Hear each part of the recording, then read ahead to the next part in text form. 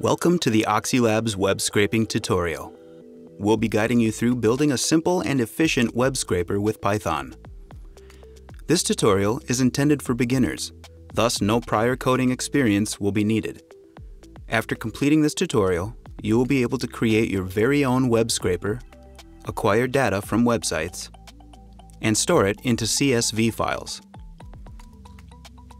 Our first step is to, well, download Python itself. Our good friend Google is here to help with that. When we arrive at the dedicated Python download page, it should detect your OS by default. In our case, that is Windows.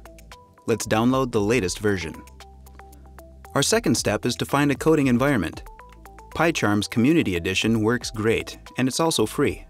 Back to Google yet again, and select the free community version. We won't be needing anything more advanced than this. Installing these is quite simple, so we'll skip straight to the coding part. Once you open up PyCharm, you'll be greeted with a project menu.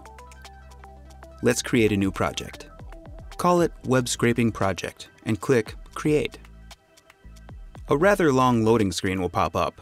Wait for PyCharm to do its work. Note that the approach shown in this tutorial is just one of many ways to perform web scraping. There's plenty of room for other, more creative methods. Once the environment is ready, there's a few things to do. First, if needed, click Fix on the notification at the bottom right. Select Configure Automatically and, depending on your OS, allow the changes to be done. Next, let's create a Python file by using the menu at the top left. Open up the folders and right-click, select New, and Python file. Let's call it Web Scraper. Time to get some libraries that we'll be using in this tutorial. Let's open up the terminal at the bottom. Type in pip install beautifulsoup4 pandas selenium. After pressing enter, we'll have to wait a little bit until Python finishes installing the libraries we should clean up a little. Let's close the terminal as we won't be needing it anymore and minimize the project menu. We won't be needing that for quite a bit. Now it's coding time. We should begin by importing the libraries we just installed. Type in import pandas as PD. From BS4 import beautiful soup. From Selenium import WebDriver, each in a new line. Time to define our first variable driver. It'll be the variable that states what our WebDriver or browser is and where it's located. WebDrivers are based on browsers that are installed in the system. I use Chrome, so our WebDriver will be Chrome. Unfortunately, we can't run our regular browser. We have to find a specific WebDriver. We do this by going back to Google and looking up your preferred browser and WebDriver. Note that the versions of the WebDriver and the web browser must match, otherwise our scraper will be unable to run. We can find our version of Chrome by clicking on the menu, going to Help and the About section. Download the WebDriver version that matches your browser. If none do, update your browser. Now extract the downloaded file. After that's done, we might as well delete the archive. Time to copy our path and input it into PyCharm. Note that the backslashes should be flipped for Python, and that the path should be inside single or double quotes. At the end of the path, we should input the exact file name. PyCharm will automatically show the possible executables in the path, making it much easier to find the required files. Our next statement is driver.get. This is the URL where our address will go. For this tutorial, we shall use the Oxylabs blog. Let's run the application now to check if we made any mistakes. If you receive any errors, PyCharm will generally pinpoint the mistake with a line and arrow. So far, so good. Time to move on. Let's create a list object in which we will store our scraped results. The square brackets indicate that it's an empty list. Naming the variable results will do just fine. Now we need to get the page source. Our variable content will store the page source derived from the URL we visited with the expression driver.page underscore source.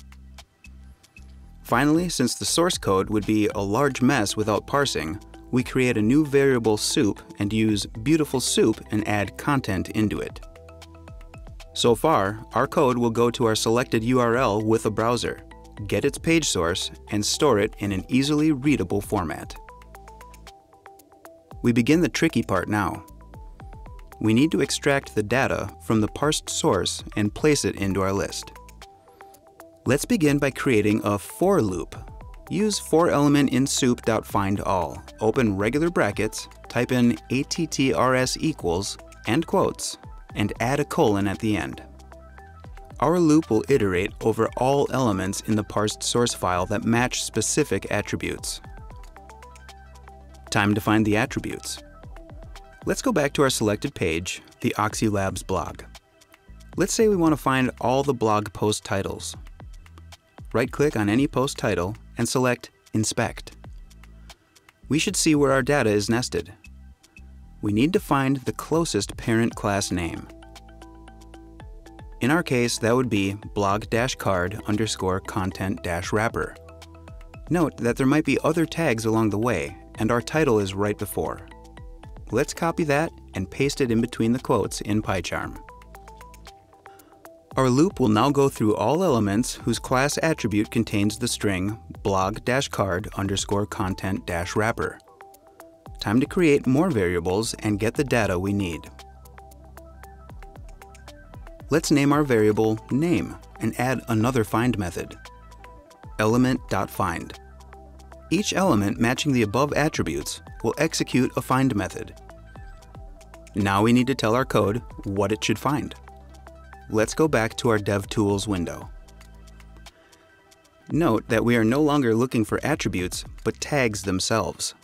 We find the tag where our blog post titles are stored, which is h2. Now our loop will go through each element whose class matches blog-card underscore content-wrapper and store the entire h2 tag found within it into the variable name.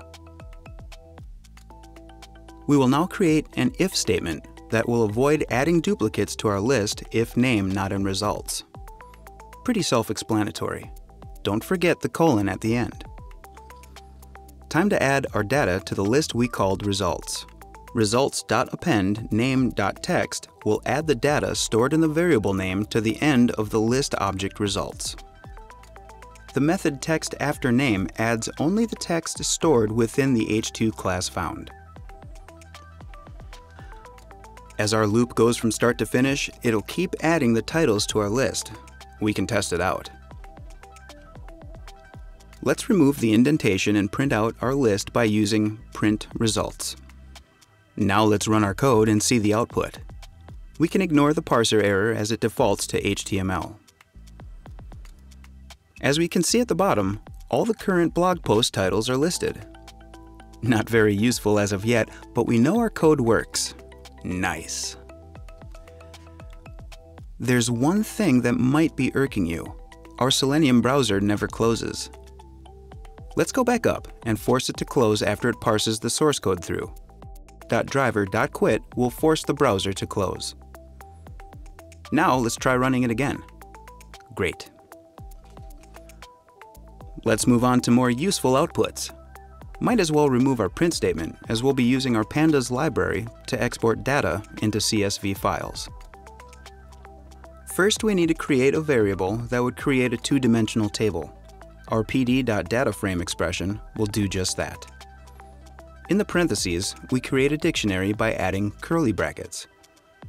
Then we define our headers, or column names, and the values as list of items. Now we export our newly created table by using the method .to underscore CSV and we add a few arguments to the brackets. First, we name our file with the intended extension. Then we set our index to false, and finally our encoding to UTF-8. Our first web scraper is done. Time to run it. If the process ends with the exit code 0, it means everything is finished as intended. Time to open our output file.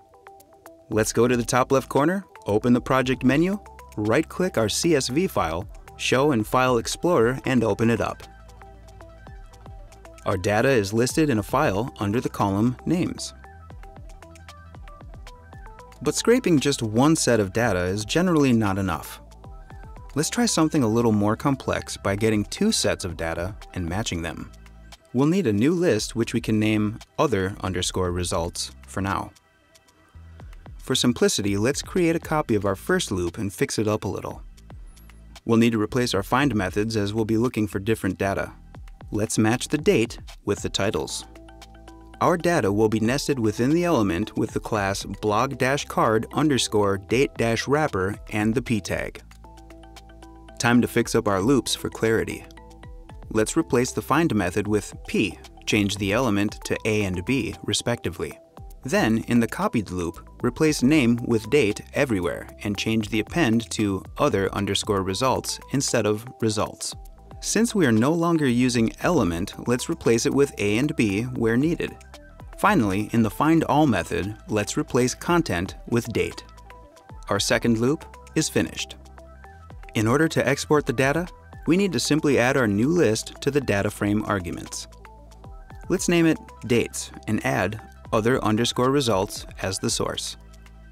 Time to run our code again. We can repeat the steps as before to check our newly created file. Open the project menu and use Show in File Explorer.